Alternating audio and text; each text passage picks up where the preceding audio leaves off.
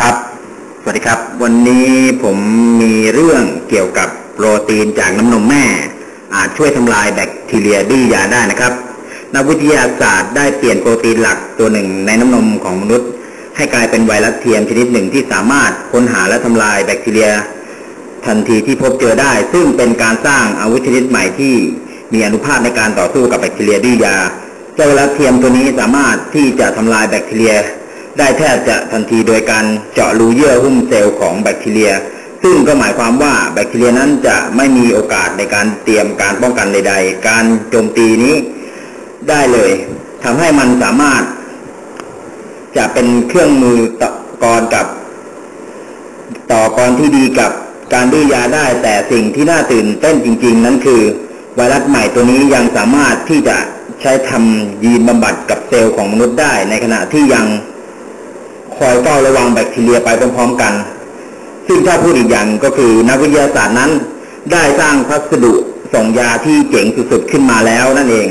น้ำนมแม่นั้นเป็นที่รู้กันดีว่ามีคุณสมบัติอันน่าทึ่งต่างๆ อยู่มากมาย ซึ่งนอกจากจะช่วยให้เด็กทารกเจริญเติบโตและมีพัฒนาการแล้ว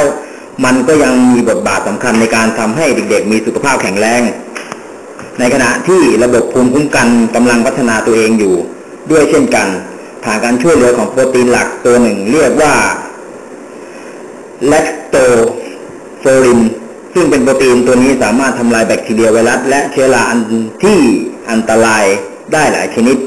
เกือบทั้งหมดคุณสมบัติการต้านจุลินทรีย์ต่างๆ นั้นต้องขอบคุณกรดอะมิโนกลุ่มเล็กๆ กลุ่มหนึ่ง และ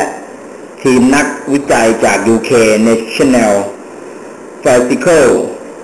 Laboratory และ University of College London คิดว่าที่มันจะมีอนุภาพมากขนาดนั้นได้นั้น กลุ่มก้อนเล็กๆเหล่านี้จะต้องสามารถที่จะรวมตัวกันกำหนดเป้าหมายเชื้อโรคและทำลายมันได้ด้วยการลุมถล่มเยื่อหุ้มเซลล์ของเชื้อโรคตัวนั้นได้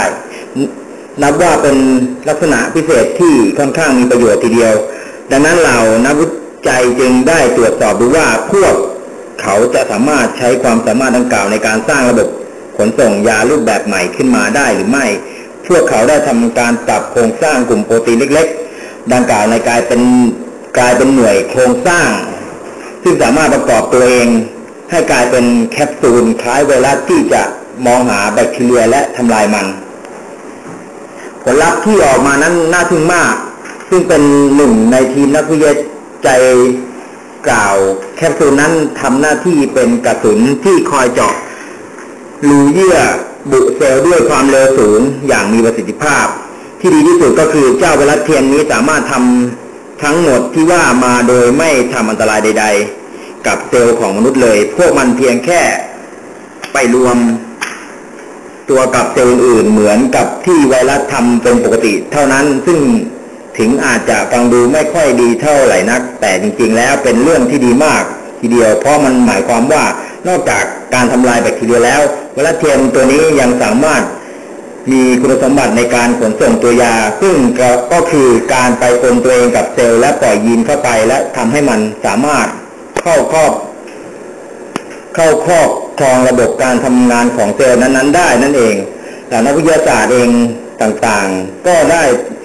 แทนที่ยีนไวรัสเหล่านั้นด้วยตัวยาชนิดต่างๆ หรือยีนบำบัด มาเป็นเวลาหลายปีแล้วเรียกได้ว่าเป็นการใช้ไวรัสเพื่อไปขนส่งการบำบัดและษาเซลล์มนุษย์ให้พวกเขานั่นเองนะครับ วันนี้ผมจบไว้เท่านี้นะครับ สวัสดีครับ